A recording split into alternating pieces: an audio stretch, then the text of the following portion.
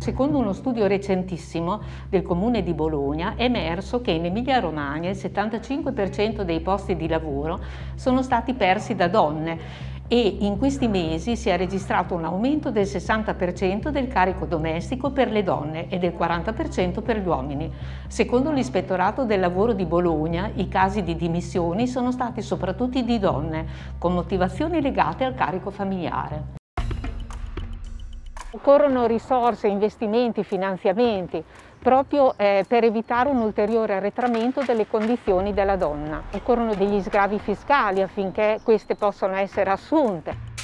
Occorre un rafforzamento dei servizi socioassistenziali, dei servizi educativi affinché la stessa eh, debba ehm, svolgere la propria attività senza coniugare i tempi della famiglia e i tempi del lavoro. Il cosiddetto smart working dovrà essere regolamentato e contrattato per tutelare maggiormente la figura della donna.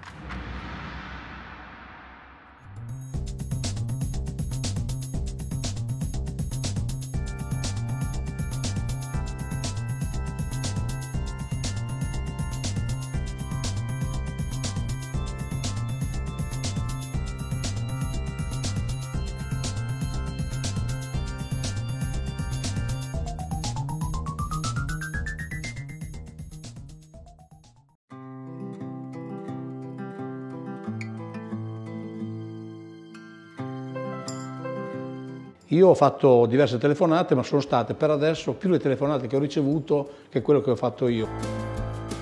Ritengo che sia un mezzo utile, magari anche da utilizzare anche oltre all'emergenza virus. Chiedevo intanto, voi come state? insomma diciamo che eh, per fortuna fisicamente per il momento stiamo bene, anche se abbiamo anche avuto un passaggio purtroppo anche come tanti che però abbiamo superato bene diciamo. Certo che eh, eh, aver istituito un numero eh, diciamo, dove i pensionati e non possono avere un punto di riferimento è molto importante. L'apprensione dei pensionati soprattutto, ma anche della gente in genere, è sul fatto che un'emergenza sembra non finire mai e quella della preoccupazione di finire all'ospedale che non ci sia il posto. La difficoltà della solitudine adesso si sente ancora di più, manca diciamo, il posto per socializzare, sono in casa 24 ore al giorno, non riescono a vedere i figli e qualcuno non li ha neppure, quindi la solitudine adesso si fa sentire molto di più che nei tempi normali fa piacere comunque aver sentito che state bene e quando avete bisogno approfittate del numero e chiamateci. Grazie infinite e buona giornata e buon lavoro. Grazie.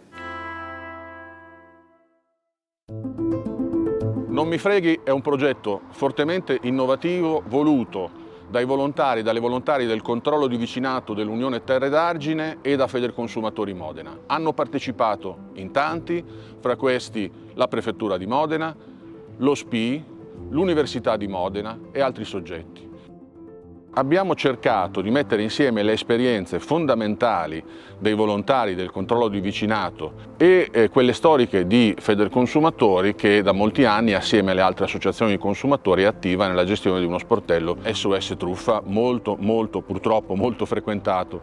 Quello delle truffe a domicilio, delle truffe telefoniche, delle offerte commerciali eh, che rasentano la truffa è un tema, una questione sul quale c'è una importante attenzione ma dove è necessario mettere insieme esperienze e competenze che assieme alla, ai quattro comuni dell'Unione delle Terre d'Argine abbiamo costruito un manuale che distribuiremo in migliaia di copie nelle piazze che illustra i modi quali, con i quali non farsi truffare dalle persone che si rivolgono da noi davanti alla porta di casa piuttosto che al telefono, anche molto di truffe online.